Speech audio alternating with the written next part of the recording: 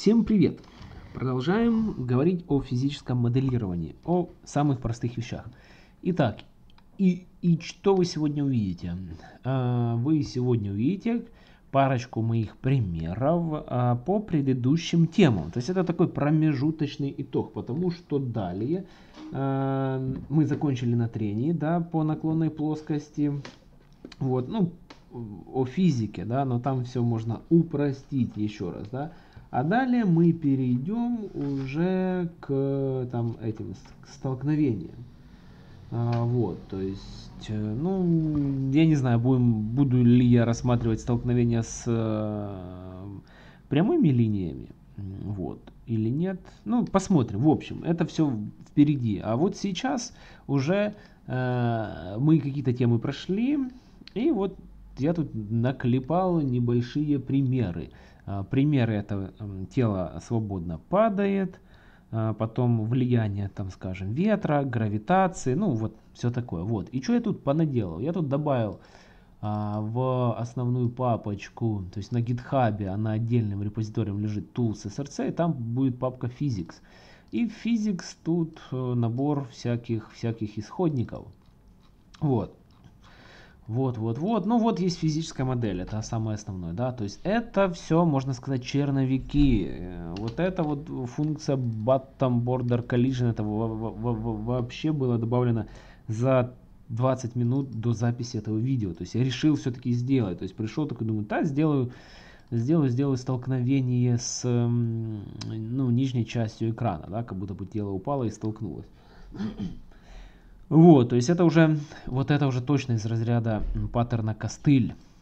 Вот, но это как бы черновик. То есть, если будет время, можно будет вот это все развивать, эту физическую модель так, чтобы все у нас красивенько а, работало, вычислялось, и наши тела вели себя Э, максимально приближенные к каким-то физическим законам. Да, не обязательно планета Земля, а наших миров, но все равно, чтобы там была какая-то инерция, ускорение, скорость там и, и все такое. Вот. А дальше у меня просто есть, ну, к примеру, вот классик сила, да. Это, что это такое? Я просто задаю, это обычный вектор, вот он. Он вектор, но он еще хранит значение. Как бы. По факту вот это вот значение является длиной вектора. Ну, как бы можно сказать здесь дублирование. Но, но, но, но с другой стороны по-другому называется. Ну, что я тут задаю? Я задаю float первое. Это, это, это значение силы, да? Вот. Ну, грубо говоря, длина вектора. А второе это градус. Э, куда направлена эта сила, ну, этот вектор, да, вот, и внутри как бы пересчитается, а, мы э, пересчитается, как бы вот эти вот, пересчитаются вот эти вот проекции. То есть в, класс, в обычном векторе мы задаем x и y, к примеру, да, там вот здесь, мы x и y, и длина посчиталась бы. Здесь же мы задаем наоборот, длину, а вот эти вот проекции пересчитаются. Соответственно, я здесь указываю, что сила, к примеру, равна 10. И вот это, куда она направлена, то есть в этой системе координат, где 0 здесь, то есть это э, относительно вот центра тела какого-то, да, которому я даю эту силу. И если я укажу, к примеру, э, 100, и тут 90, это значит, на какое-то тело, которое содержит это значение, будет действовать сила э, размерностью 100 и вправо. Если 180, это вниз. То есть а, а, в моем здесь примере вы сейчас дальше все увидите. Силу гравитации я указываю как. А, вот это вот а, объектик этот есть. И я указываю, к примеру, если 9,8, 9,8, да, это мы знаем 9,8, это у нас ускорение свободного падения на планете Земля. То она действует куда? Всегда вниз. Вот, то указываю 180. Ну, это такое, тут ничего сложного нету, разберетесь. Вот. Что физическая модель? Физическая модель как бы в общем хранит то, что, о чем мы говорили.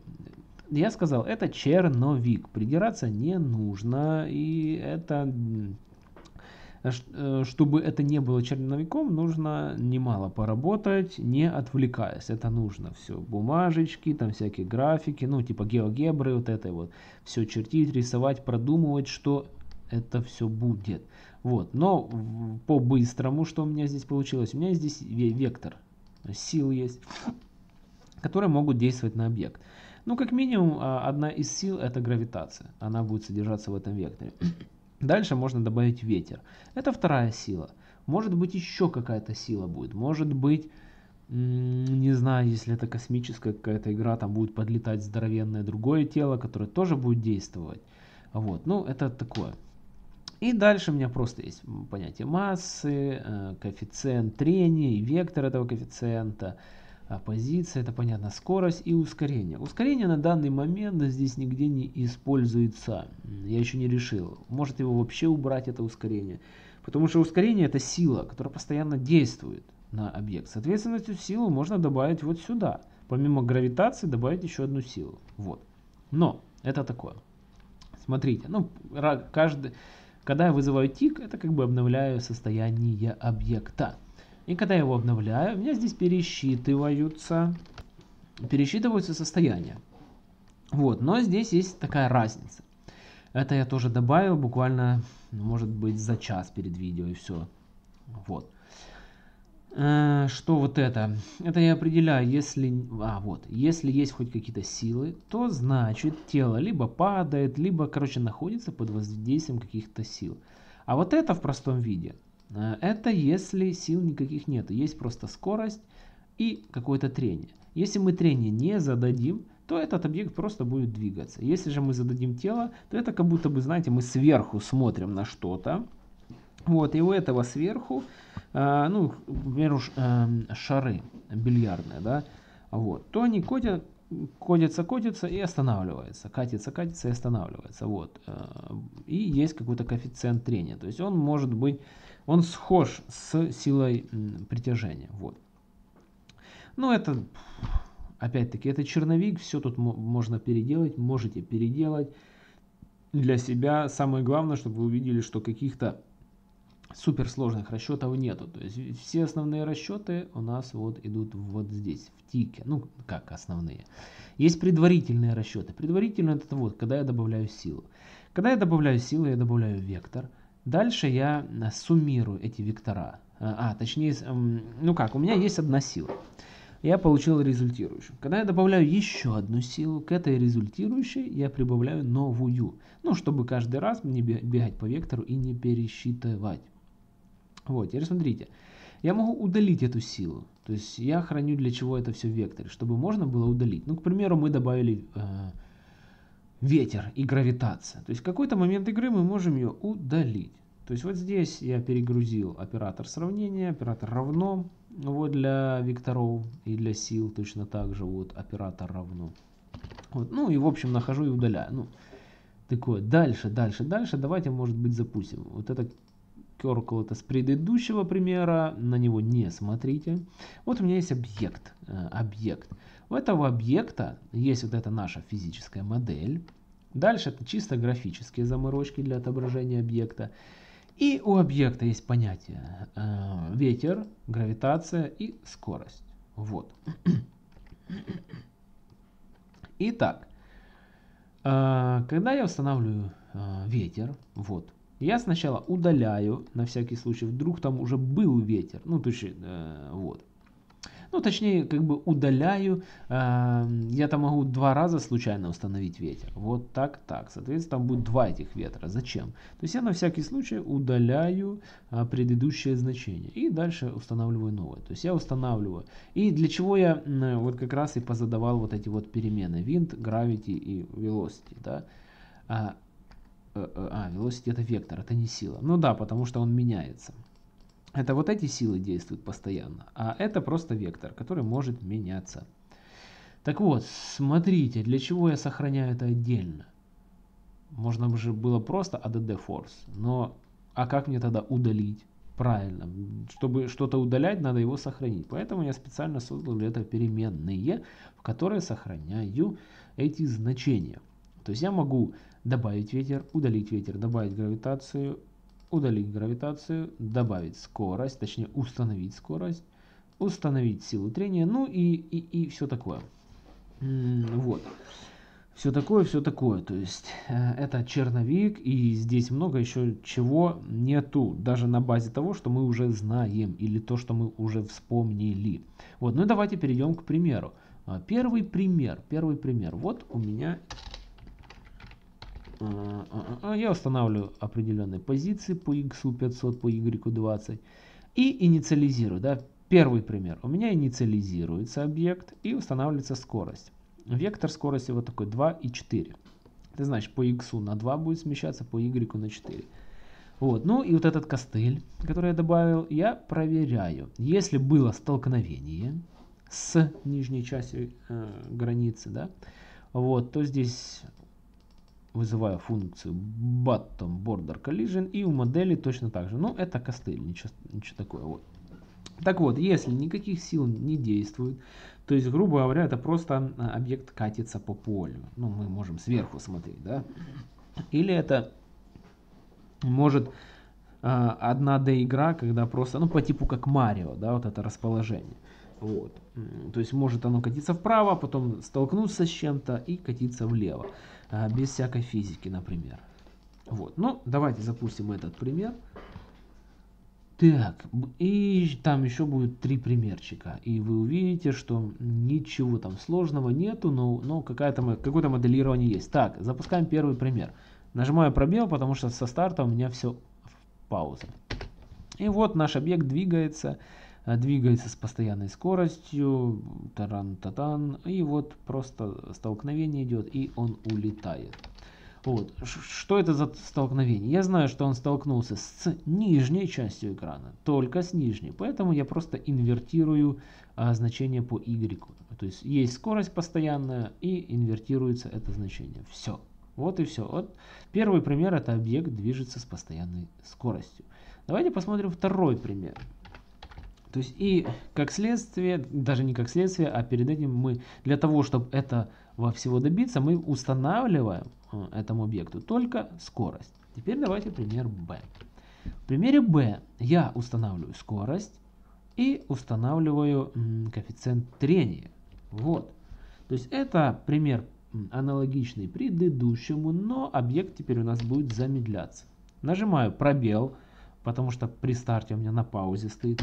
И как мы видим, объект ехал-ехал и остановился. Все. Потому что коэффициент трения. Давайте увеличим скорость. Скорость 6 поставим. Нет, по, по x будет 4, по y 8. Вот так вот. И запустим еще раз. Вот. Так, пробел и катится, катится, катится. Ух ты, блин. Неожиданно. Он у нас покатился по кривой по кривой, ну, это тут могут быть, конечно же, какие-то косяки.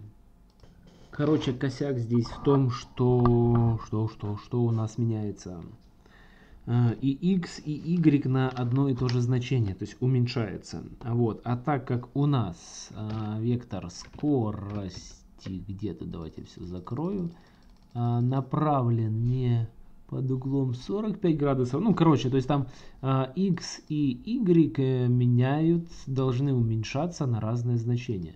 А у меня же здесь э, x и y уменьшаются на одно и то же значение. Соответственно, а, доходит до того, что x уже пошел в минус, а y еще уменьшается. То есть они должны уменьшаться так, чтобы и x, и y в один момент стали равны нулю. Вот, вот в этом-то и косяк. Но я думаю, вы его исправите. Ну, может быть, я исправлю, а, если будет время. Но знайте, это может быть и не исправлено. Но это, это на самом деле вот здесь по, по фиксить, по фи, фиксить, так сказать. Так вот, а, где оно, где оно, где оно, вот. И по-хорошему нажимаем пробел, и вот оно должно двигаться, двигаться и, и, и останавливаться. Ну, остановилось. Ну да и ладно. А, это такой э, бах, бах, бах, бах. Так, теперь давайте пример С посмотрим. Что у нас в примере С? В примере С а, просто установлен, установлена гравитация. Давайте запустим.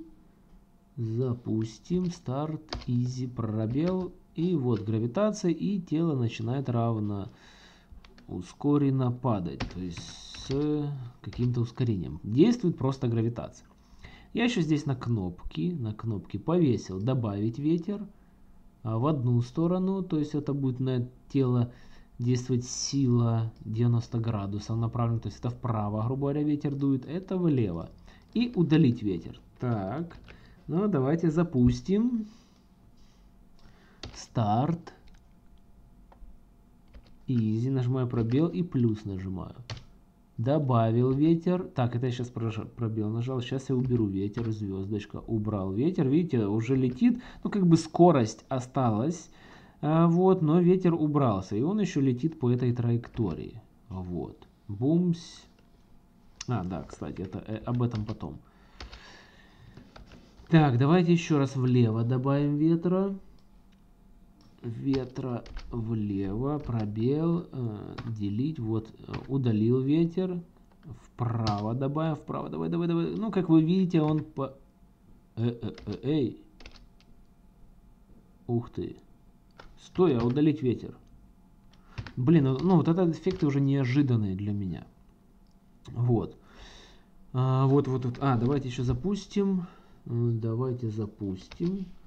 Э, и удалим гравитацию. Так, ну давайте я еще раз влево добавлю ветра. Пусть полетит. Сейчас удалю его. И по тройке... Офигеть. Короче, эффекты неожиданные. Вот, а, давайте. Э, можно еще удалить гравитацию. Вот, смотрите. Сейчас я запускаю. Пробел, есть гравитация. Сейчас нажму троечку. Удалил гравитацию. Вот я удалил гравитацию, но почему объект движется? А потому что была еще какая-то скорость. Давайте добавлю ветер. Вот начинает дуть ветер, гравитации нету и скорость постепенно выравнивается. Вот. И пример D еще. Пример D. Где он? Блин, где, где, где ты, где ты, где ты? Вот пример D. Пример D это как будто бы мы стреляем из пушки. То есть я помещаю объект и вот задаю такую скорость. То есть это 45 градусов, направленная вправо, да. И вот, э, вот, вот, вот гравитация та же. 0,4 и 180. Так, так, так, так, давайте запустим. Вот, сейчас нажму пробел и моделируется выстрел из пушки. Пробел. И, как мы видим, полетел по траектории. Бумс, бумс. Кстати, по поводу вот этих отскакиваний. Что это такое? Это у меня, а, это у меня, где она тут? Object. Вот, когда я сталкиваюсь с границей экрана, когда я вижу, что есть какие-то силы приложены, это не просто движение, да, там шара по этому, блин, по полю бильярдом, вот, то я просто что, считаю э, импульс масса умножить на скорость и, и, и, и, и задаю скорость. То есть я определил, что я столкнулся, определил, что есть, действуют какие-то силы, и я задаю такой вектор. Какой вектор? А вот такой. По x это 0, а по y вот этот импульс, деленный на 15. И инвертирую и y. То есть у нас же тело падало, падало, правильно? Я получил э, импульс в момент столкновения и как бы вернул его обратно, да, инвертировал. Но иногда мы видели, что не только вверх летело, э, а вправо и влево. Но это действие ветра еще было, вот, так как там действовали еще силы какие-то и, соответственно, кстати, давайте запустим с ветром. Давайте, за... О, давайте запустим пушку с ветром. Я, я еще не запускал, не пробовал. Так, чтобы ветер дул влево, мне надо нажать деление. Давайте я стреляю, нажимаю делить. Бумс. Вот ветер подул. И это тоже, кстати, неожиданно. Куда он уехал? Я не рассчитывал. Блин, а ветер действует или нет? Давайте попробуем. Я нажму сейчас ветер вправо добавить. Да, ветер действует, потому что объект улетел подальше. А почему он вниз уходит? Не знаю. Но, кстати, знаете, может быть, вы замечали в каких-то таких игровых движках, это не является движком. Это просто грубый черновик. Но иногда в каких-то игровых движках нестабильных бывает такое, что-то куда-то уедет, а, что-то где-то упадет и начнет дрыкаться вот такой объект, телепаться туда-сюда, то есть на месте не может остановиться и все такое. Вот. Ну, ну, ну, в общем, в общем, как вы видите, что-то похожее на моделирование физики есть, но модель несложная, не поисправлять какие-то ошибки, э, в данном случае вот здесь надо исправить ошибку, там, а понять почему э, вот сейчас круг этот э, вниз уезжает, непонятно. Скорее всего, в момент стал... А, ну да, я примерно понял. Потому что постоянно работает а, вот эта вот функция, где она? Bottom border. На этом этапе нужно просто, просто, просто определить. Ну, давайте вот сразу. Если P больше единички, то только тогда вот эту всю штучку и делать. Ну, вычислять, да? Вот импульс. Вот, скорее всего, вот это и решит проблему. Давайте стрельнем. Ветер, ветер. Вот ветер у нас. Бамс. Нет, не решила. Нет, не решила. Возможно, оно сюда еще заходит. Ну, давайте по последний тест. Вот. И, и, и, и. Что и? Принципе, ничего, можете уже что-то пробовать для себя, что-то пробовать писать какие-то простенькие игрушки, простенькие еще что-нибудь. Э, не только игрушки, можно там просто пописать такие интересные приложения, когда там скатываются шары, падают, там э, внизу прыгают, прыгают, пока не успокаиваются и все такое. Но в общем, вот этот э, исходник будет, конечно же, в описании под видео. И не забывайте еще э, скачать дополнительный репозиторий tools src. Все должно лежать у вас, ну, чтобы оно все работало, оно у вас должно лежать так, как лежит на гитхабе. То есть там 10 э, репозиториев, соответственно, все эти 10 репозиториев так и, и должны лежать. То есть вы должны создать какую-то корневую директорию и туда один за одним выкачать все эти папки. Вот. Потому что здесь идет связка, да, где лежит проект и сколько, на сколько уровней перейти. Вот здесь tools src, external libs и так дальше. То есть если у вас выкачаны все репозитории, то все у вас должно работать. Ну, на сегодня все. Всем спасибо за внимание. Подписываемся, комментируем, исправляем мои ошибки. Ну и все. Всем пока.